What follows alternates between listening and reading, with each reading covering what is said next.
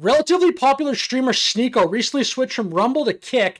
I saw this clip going around. I really try actually to not watch any of this guy's content because he's just so absurd. I consider him completely a fraud, completely a grifter, changes his opinions every five seconds. But here he is being incredibly disrespectful and ungrateful to Rumble, the platform that essentially saved his career, I would argue. The only reason actually I even know who Sneako is is because of Rumble. Yet the minute he switches platforms, listen to this guy. Unbelievable.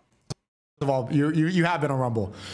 But it's like it, it becomes an echo chamber over there where you're, you're, cast away into, into this land of people where you, it's like a canceled world. It's the conservative world. It's the Republican.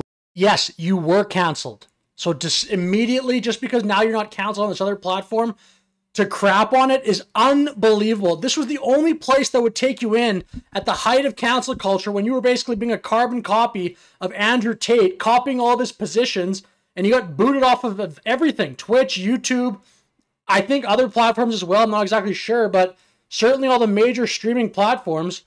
I would say Rumble saved your career. The minute you get off of it, just say thank you. What the hell are you thinking? Republican world. It's the it's the conspiracy theorist chemtrail world.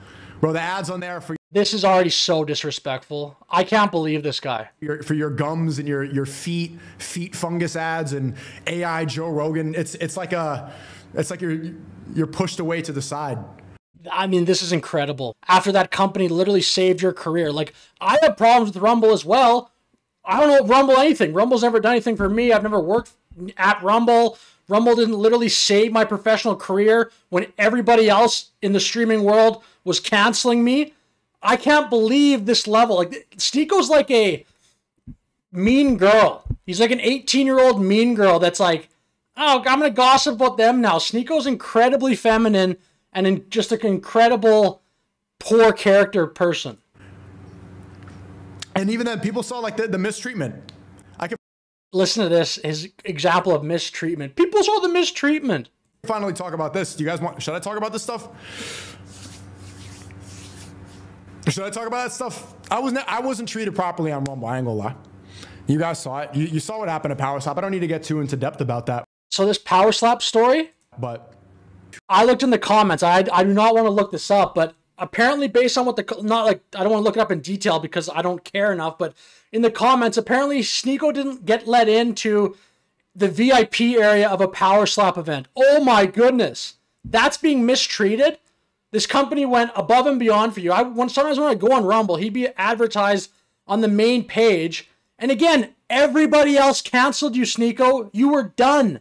There's a very real chance that you just fade you he would have completely faded off into like just complete irrelevancy like a um maybe Sargon of a Akkad, what's that guy's name? Vitali. These guys that were popular once and now basically not that well known. That could have easily happened to Sneako, but Rumble saved him. And I believe when he first got canceled, I don't think Kick, which he's on now, I don't think that was that popping of a stream late at the moment. I think it was just about to. Don't quote me on that, but I believe Rumble was basically his only option, or else just start your own website and just hope that you can like get your own traffic. I guess sort of like Alex Jones had to do with Infowars, but the, I mean this is not getting led into a VP VIP thing at one event apparently is mistreatment. Two years there, two years exclusive. Who else did that? Everybody else left in that time. Everybody else left. They weren't canceled everywhere else. Steve left, Ricegum left, Gideon left, Mizkif left, Kason left, Kai left, Speed left. And none of them went on this rant calling out Rumble about making fun of their ads, just making fun of Rumble as a platform immediately after they allowed you to keep doing your dream job.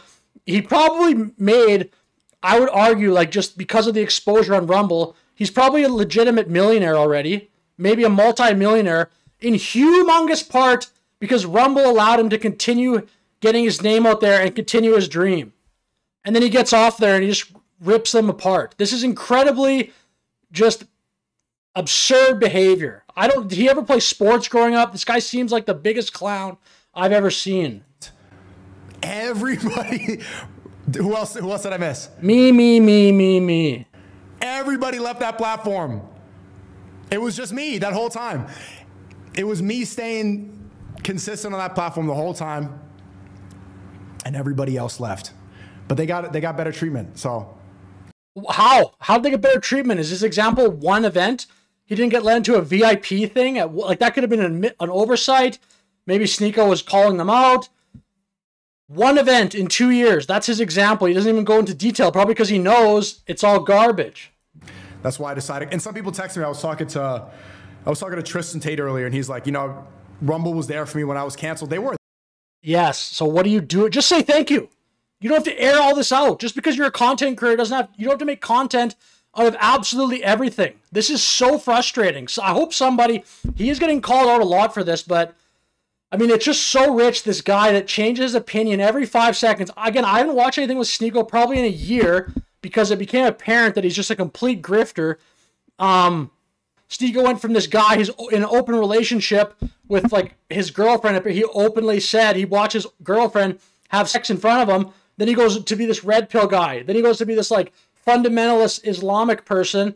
I've seen him switch up his opinion on politics, being like completely anti woke to I saw him just a clip recently, like, oh, the Haitian people, kind of going back into identity politics.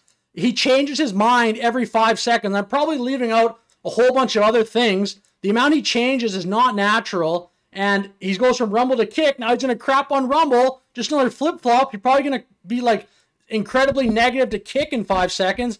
It bothers me to some extent for sure when guys like him, Jack Doherty, amass these huge fan bases of younger men, and then they just rinse them, like Jack Doherty does with the OnlyFans stuff. Sneako had this like garbage online university. It's probably not running anymore. I don't know, but these guys just all rinse their fans constantly, switch their opinions up every four seconds. Um, I just think they need to be called out way more than they are.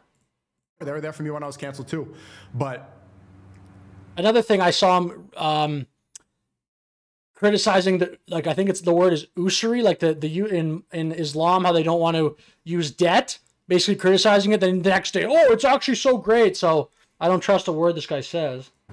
It doesn't mean that you need to have undying allegiance to this place, especially when they don't show undying allegiance to you. What? Not letting you into one event? So yes, I respect that, but I'm not going to like stay on this platform forever just because they were there when I was canceled. Then fine, you don't have to. Don't come on there immediately after they saved your career. We're the only ones trying to help you, and then like go on this rant basically of a minute, just making fun of them, calling that place just like a wasteland. A bunch of canceled people making fun of all the ads they run. Like, I can do that. Rumble doesn't owe me. Shit. But what are you doing? You know, I would have. I think I, I would have figured something out regardless. It's time to branch out. Oh, that's good. What are you, like www.sneako.com? That would be your, your only other option at that point. You had nothing. This is just so ungrateful. Anyway, I'll finish the video there, but um yeah, Sneako sucks on it there. Thanks for watching.